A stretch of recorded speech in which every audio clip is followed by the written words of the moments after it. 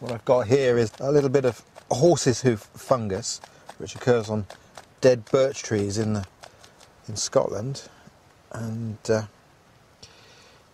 I'm just fraying that up, ready for making fire.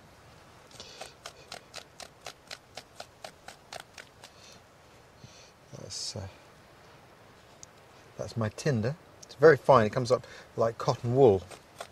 And what I need to do is to generate a spark to drop into this to get this to catch light and start smouldering. To make the spark I'm going to use a method that we know was used in prehistory.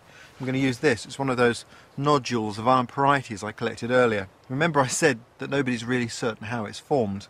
Well my favourite story came straight from the mouth of a professor of geology no less, is that it could even be the blood of dinosaurs. Well that might be unlikely but that's my favourite story without a doubt. And I reckon they must have been dragons because you get good sparks off of this.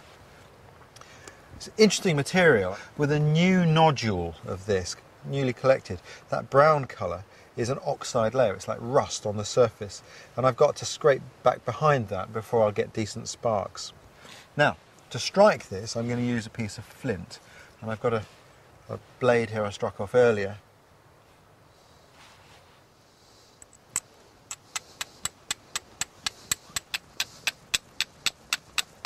Oh, I can start to smell a slight burning smell.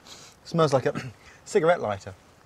And that's a good sign. It means I'm getting sparks. Now, the sparks that come off of this are very small and they're very low temperature. They're a dull red colour. So sometimes you can't always see them in daylight. You get that smell of burning, you know you're getting somewhere. Of course, if you're using this every day on a regular basis, it's very quick because you don't have much oxide layer built up.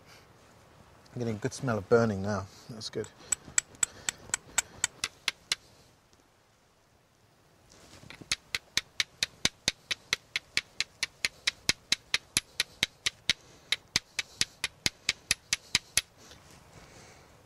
Getting better sparks. Just trying to get them to fall in the right place.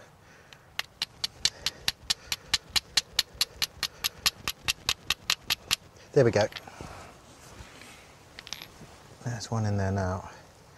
It takes a while.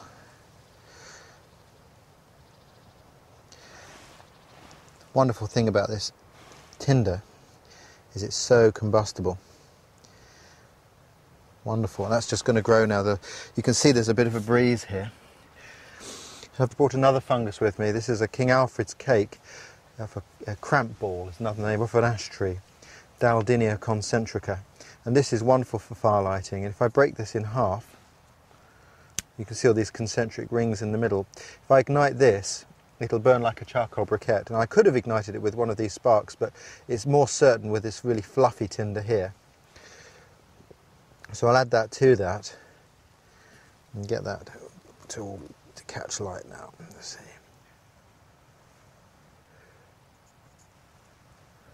That's good. Now, what I'm going to do with that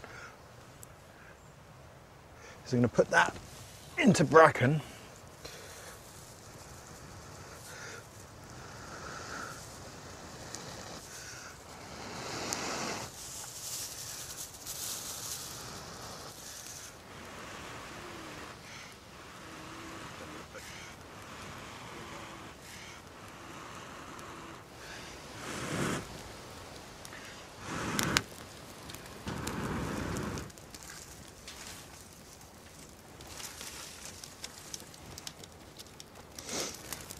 and we're in business.